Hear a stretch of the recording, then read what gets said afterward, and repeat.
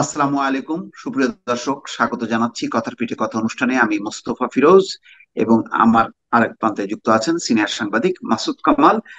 নিয়মিত আমাদের এই অনুষ্ঠানের আজকের আলোচ্য বিষয়, দর্শক ঢাকা সতেরো উপনির্বাচন।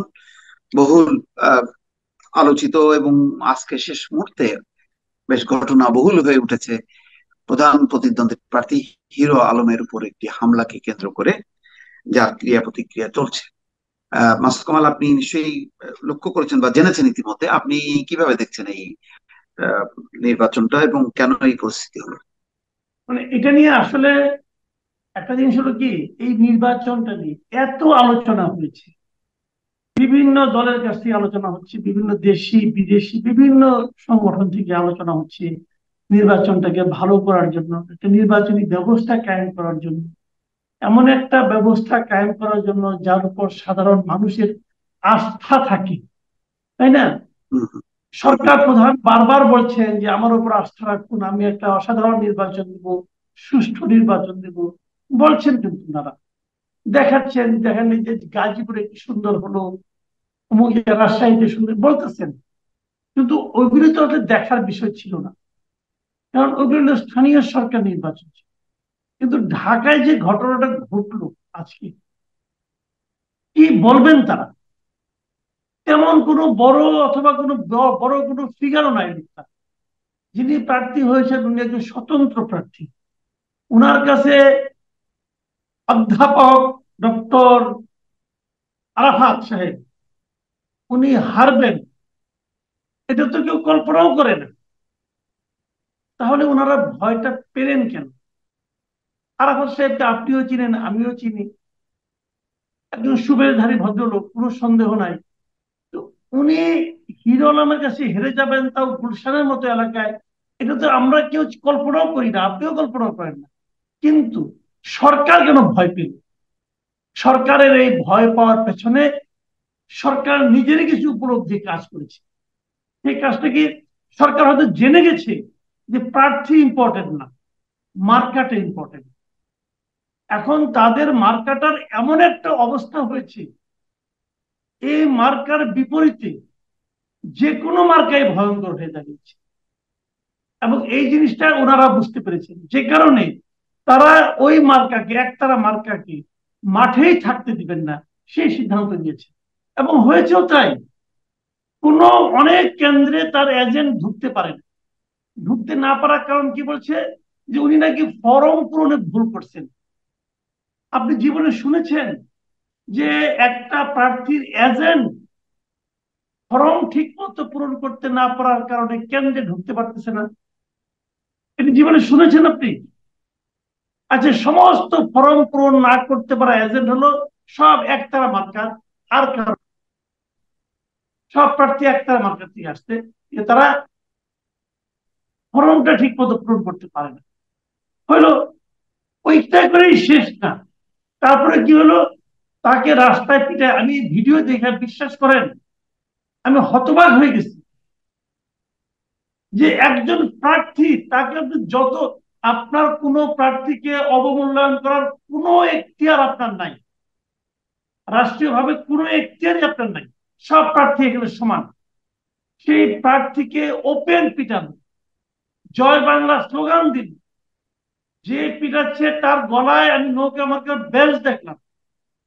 পিটালো একটা পুলিশ থেকে ফিরে যাচ্ছে অথচ কয়েকদিন আগে এই পুলিশ কমিশনারকে দেখেছিলাম বলতে যে একটা তার কিছু হইলে পরে সে নির্বাচন ঠিক মতো পরিচালনা না করতে পারে সে নাকি খত দিয়ে চলে যাবে। কি বললেন? সেই পুলিশের একজন যাকে জিজ্ঞাসা করা হলো সে হলো না এই বাউন্ডারির মধ্যে আমার পেরিফেরির মধ্যে আমি প্রোটেকশন দিতে পারি এর বাইরে দিতে পারি না। তাহলে প্রার্থী শুধু কেন্দ্রের মধ্যেই পুলিশের তৎপরতা এর বাইরে প্রার্থীর কোনো নিরাপত্তা একজন প্রার্থীর নিরাপত্তাটা কে বিধান করবে? যে দেশে নির্বাচন চলাকালীন নির্বাচনী এলাকায় একজন প্রার্থী নিরাপদ থাকতে পারবে না সেই নির্বাচন কেমনে সম্ভব? তাহলে সেই নির্বাচন কমিশনের কি ক্ষমতা আছে? না তাই নাই। আরও দেখেন আরও দেখেন যে এই যে নির্বাচনটা এখন যে বলবে নির্বাচন কমিশন নির্বাচন ভালো হয় নাই পুরো নির্বাচনটাই বন্ধ করলাম তাও পারবে না। কারণ কয়েকদিন আগে কিন্তু আইন করে দিয়েছে যে উনি চাইলে কেবল ওই কেন্দ্রে এখন কোনো কেন্দ্রও ছিল না বাইরে ছিল। তাহলে হবেটা কি? এই হলো আমাদের নির্বাচনের ব্যবস্থা আমাদের নির্বাচনী কর্তৃপক্ষ এবং আমাদের প্রশাসনের ভূমিকা। একটা উপনির্বাচন এত গুরুত্বহীন উপনির্বাচন আগে কখনো হয় নাই। কারণ এই উপনির্বাচনের মেয়াদ হবে মাত্র পাঁচ মাস। এটুকুই সহ্য করতে পারতেছে না যে দল। তারা পাঁচ বছরের জন্য যে নির্বাচনটা হবে, যে নির্বাচনের মাধ্যমে সরকার পরিবর্তনের সম্ভাবনা আছে, সেই নির্বাচনের সময় এই সরকার কি করবে? এদের কাছ থেকে আপনি কি আশা করবেন? এই নির্বাচন কমিশনের কাছ থেকে আপনি কি আশা করবেন? তখন অনেকে বলবেন আমিও নাকি খত দিব। কারণ নাকের কিছু হবে না, কোনো খত হবে না, ঘটনা ঘটে যাবে। প্রার্থীরা সব বাইরে আসবে এবং জয় বাংলার হাতে মার খাবে এই হবে। এই জন্যই তো ধরেন আরপিওটার নির্বাচনের সংজ্ঞাটা বাদ দিয়ে শুধু পোলিং শব্দটা এই করছে যাতে শুধু ওই বুথের ইয়ে তার বাইরের হলো দায়িত্বটা হচ্ছে প্রশাসন পুলিশ। এই এরকম একটা অবস্থা। মানে খুব পরিকল্পিত ভাবে নির্বাচন শব্দটা বাদ দিয়ে পোলিং জায়গাটা অন্তর্ভুক্ত করছে। কিন্তু আমি একটা চিন্তা করি দেখেন নির্বাচন বলছে যে কিছুক্ষণ আগে দেখলাম যে ঘটনার সত্যতা পেলে তাই এটা হলো আইনের এটার বিচার হবে। কীভাবে পাবেন? সত্যতা পাওয়ার প্রক্রিয়াটা কি? তদন্ত তদন্ত মিডিয়ায় দেখা যাচ্ছে এতগুলি মিডিয়ায় দেখা যাচ্ছে ভিডিও দেখা যাচ্ছে উনি সত্যতার সন্ধানে কোথায় তাকে আছেন? ওনাকে বলেন যে দুই রেখে নফল নামাজ পড়েন আপনি সত্যতা আপনার ওই একেবারে নাজির হবে উনি তো নাজির হয় না কীভাবে হবে? প্রধান প্রার্থী মোহাম্মদ আরাফাত, সেও বলছে যে হামলাকারীদেরকে আইনের আওতায় আনা উচিত। সে নিন্দা করছে। ইলেকশন কমিশনার দেখলাম বলছে দুঃখজনক। রিটার্নিং কর্মকর্তা বলছে যে ঘটনার সত্যতা পেলে আনা উচিত। আচ্ছা এর বাইরে দেখেন, এমন একটা সময় এই ঘটনাটা ঘটলো। গুলশানটা মানে যদি তিনশো আসনের মধ্যে সবচেয়ে গুরুত্বপূর্ণ, শিক্ষিত মানে খুবই সেন্সিটিভ আসনটাই হলো কিন্তু ঢাকা সতেরো। এই জায়গায় যদি এই অবস্থাটা হয়, তাহলে অন্য আসনের নিরাপত্তাটা কোথায়? তারপরেও দেখেন যে প্রধান প্রতিদ্বন্দ্বী দলগুলো নেই এবং এটা জাতীয় নির্বাচনও না। আবার আজকে ঢাকায় এখনও কিন্তু ইউরোপীয় ইউনিয়নের প্রতিনিধি দল আছে, তারা নির্বাচনের পরিবেশ আছে কিনা সেটা যাচাই করার জন্য তারা আজকে এক সপ্তাহ ধরে মিটিং করছে আরও এক সপ্তাহ ধরে মিটিং করবে। ঠিক তার দুদিন আগে আপনার আজরা জিয়া চলে গেল সরকারের কাছ থেকে। এই কমিটমেন্ট পেয়ে যে একটা সুষ্ঠু আবার নির্বাচনের যে প্রতিশ্রুতি দিয়েছে তার উপর আস্থা রেখে। তাহলে আজকের এই ঘটনাটা কি প্রমাণ করল? এই ঘটনার পরে কি কোন দিক দিয়ে আপনার ইউরোপীয় ইউনিয়নের কাছে কি মানে এটা পেল? তারপর যে টিমটা চলে গেল, তাদের প্রতিনিধিরা তো আছে এম্বাসিগুলি তো এখনও বাংলাদেশে আছে। তাদের মূল্যায়নটা কি হবে? প্রধান বিরোধী দল বা অন্যান্য দল যারা প্রতিদ্বন্দ্বিতা করবে, তারা কি মেসেজ পেল? আর এরাও বা কি মেসেজ দিল? সব মিলে আপনি বুঝতে পারছেন যে এটা মানে কোথায় পরিস্থিতিটা কোন দিকে গড়ালো? হ্যাঁ মানে সরকার বুঝিয়ে দিল যে আমরা কারোর উপর তোয়াক্কা করি না। একটা কথা আছে না, যে এক কান কাটা রাস্তার একদিক দিয়ে হাঁটে। আর যে দুই কান কাটা, সে রাস্তার মাঝখান দিয়ে হাঁটে, তার তো লজ্জার কিছু নাই। এখন আপনার সরকার যদি সিদ্ধান্ত নিয়ে থাকে যে উনি লজ্জা পাবেন না তাহলে আপনি কীভাবে বলবেন যে ওনারা কি করবেন? ওনারা তো সিদ্ধান্ত নিয়েছেন। তা না হলে এই সময়ে আমরা যাকে বলি যে আরাফাতের তুলনায় হিরো আলম কি প্রার্থী রে ভাই? তার কোনো দলও নাই। সে কিন্তু স্বতন্ত্র প্রার্থী। তাকেও সহ্য করতে পারছে না। তাকেও ভয় পাচ্ছে যে দল। আর যদি এখানে বিএনপির একজন প্রার্থী থাকতো তাহলে কি হতো? ও মাই গড আজকে তো মানে সরকারের মধ্যে যেটা হচ্ছে সরকারের মধ্যে আতঙ্ক ভর করেছে। সরকারের মধ্যে আতঙ্ক ঢুকে গিয়েছে। তারা তো শুনেন আমরা সরকারের অনেক সময় সমালোচনা করি। কেন করি? যে এই দুর্নীতি করছে ওই দুর্নীতি করছে এগুলি বলি। নানা রকম কর্মকাণ্ড নিয়ে আলোচনা করি। আচ্ছা এই যে কর্মকাণ্ডগুলি তারা করেছে এগুলো আমরা জানি কীভাবে?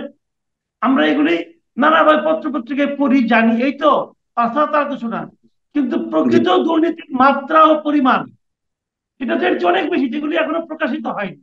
সেটা আর কেউ না জানলেও, সরকার নিজে তো জানে যে তারা কি করতেছে। জানে না? এবং জানে বলেই তাদের মধ্যে আতঙ্কটা ভর করেছি।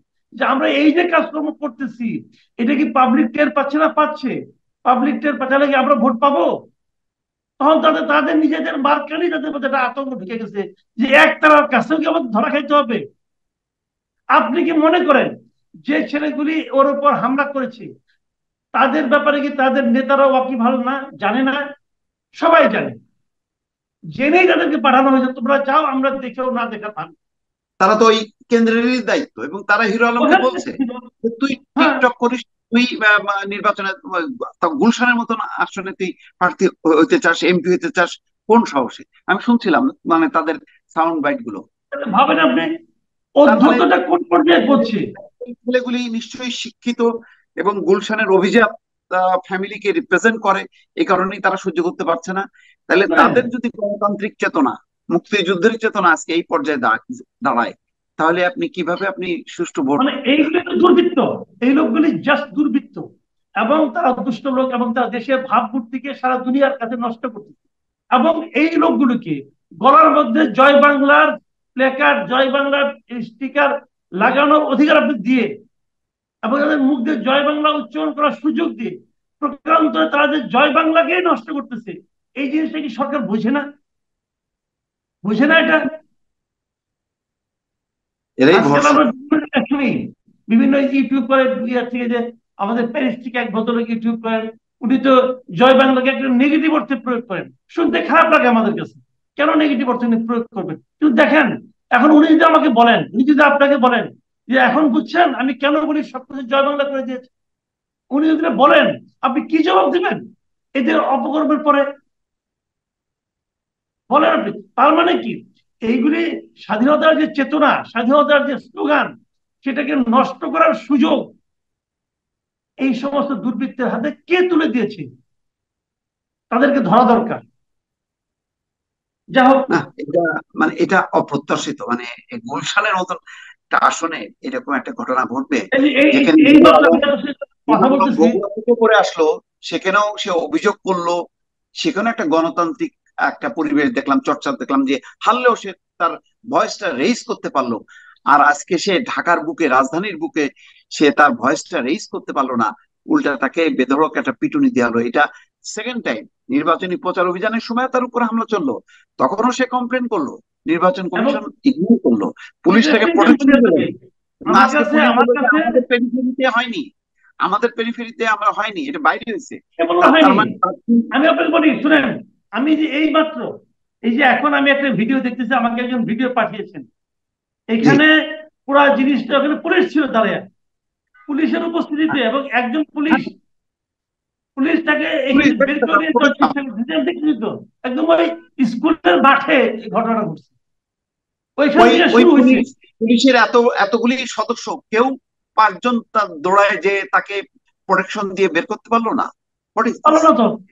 এই যে চোখের আমাকে এই মাত্র একজন পাঠাইছে। একটা ভিডিও দেখতেছে আমি চোখের সামনে। তো আপনি কি বলবেন? এই ঘটনার ব্যর্থতার দায়টা তো পড়ে গেল পুলিশের উপর। ব্যর্থতার দায় পড়ে গেল ওই যে নির্বাচনের যারা এই মারপিট গুলি করেছে যারা ওর গায়ে আমি এখন ওকে মাটিতে ফেলে তার গায়ে লাথি মারছে। একজন প্রার্থীকে মাটিতে ফেলে আপনি গায়ে লাথি মারবেন? এটা হয়। আপনি তো একটা পশুকেও ই করতে পারেন না লাথি মারতে পারেন না টেলিভিশনে এখন ফলাফল যে দিচ্ছে এক পাশে মোহাম্মদ আরাফাত আর এক পাশে হিরো আলম। তার মানে তার প্রধান প্রতিদ্বন্দ্বী সেই আক্রান্ত যদি হয় তাহলে অন্য প্রার্থীরা কোথায়? বাকিদের অবস্থাটা কি তাহলে? অনেকে তো দেখলাম ভোটটাই বর্জন করছে। তার মানে যেই নির্বাচনে সরকারের কোনো পরিবর্তন হবে না যেই নির্বাচন আদৌ কোনো গুরুত্ব বহন করে না এরকম গুরুত্বহীন জায়গাটাও আপনি ছাড় দিচ্ছেন না। এই যে আপনি প্রথমেই বললেন যে আতঙ্ক ভয় মানে এটা তো মানে একটা ভয়ঙ্কর ভাবে তাদেরকে পেয়ে বসছে মনে হচ্ছে। এটা হয় না এটা হয় না। খুবই দুঃখজনক। আমি বললাম তো মানে খুবই দুঃখজনক এবং এটা সরকারের গালে চপড়াঘাতের মতো হয়েছে। নির্বাচন কমিশনকে প্রমাণ করে দেওয়া হয়েছে এই ঘটনার মাধ্যমে এই নির্বাচন কমিশন মানে পুরো মেরুদণ্ডহীন একটা নির্বাচন থাকতো। এই ইলেকশন উচিত পদত্যাগ করা সব উচিত ছিল আমি আজকে আলোচনা করতাম। এই যে দুইটা মানে নতুন গজায় ওঠা দলকে এতগুলো দলের মধ্যে বারোটা দলের মধ্যে এই দুইটা দলকে গসাই দিল। কি বিএনএম আর কি বিএসপি যেগুলো নিয়ে সরজমিন রিপোর্ট করে দেখা যাচ্ছে যে মানে তিনশো চারশো বর্গ ফুটের মধ্যে একটা কেন্দ্রীয় অফিস সারি সারি চেয়ার সেখানে কোনো নেতা কর্মী নাই। রিপোর্টাররা ওই জায়গায় পা দিয়ে বুঝতে পারছে যে এটা এখানে একটা ষড়যন্ত্রের আভাস পাচ্ছে স্মেল পাচ্ছে। আর আমাদের কমিশনের কর্মকর্তারা নাকি ওইসব জায়গা পরিদর্শন করছে। তারা সুষ্ঠু আবার নির্বাচনের সুগন্ধি নিয়ে আসলো ওইসব জায়গা থেকে। যে যার দুই কান কাটা আছে রাস্তার মাঝখান দিয়ে হাঁটে। আমি আগে বলেছি এই নির্বাচন কমিশনের দুই কান কাটা গেছে। তারা এরকম অথর্ব নির্বাচন কমিশনের গেছে। আপনি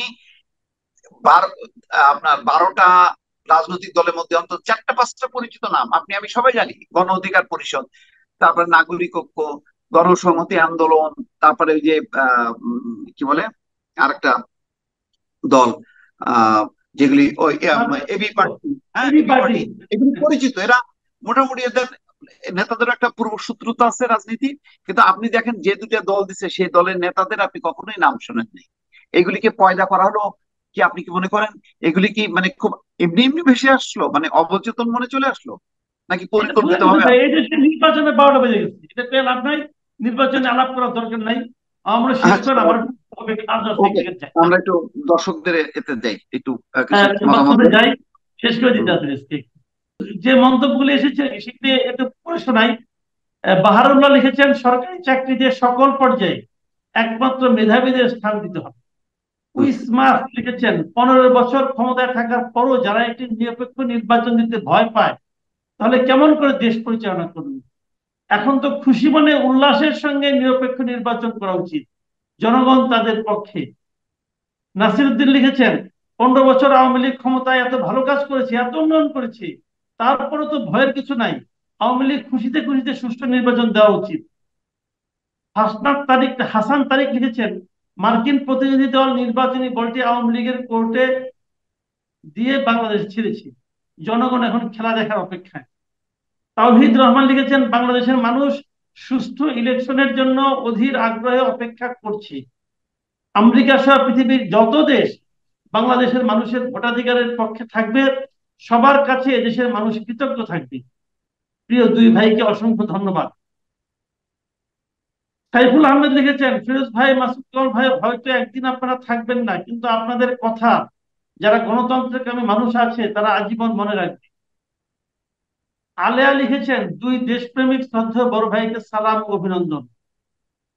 ফরিদুদ্দিন আহমেদ লিখেছেন, ধাপ্পাবাজি করে আত্মতৃপ্তি পাওয়া যেতে পারে।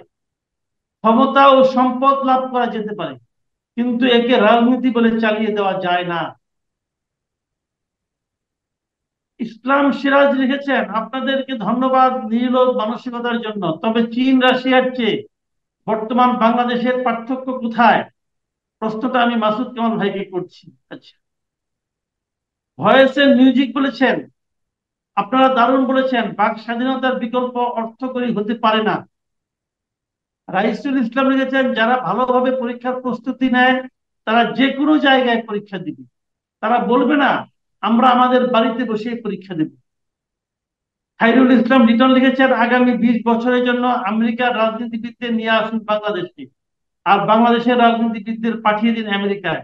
তারপর ভাবুন, চীন, রাশিয়া যাবেন নাকি ইউরোপ যাবেন?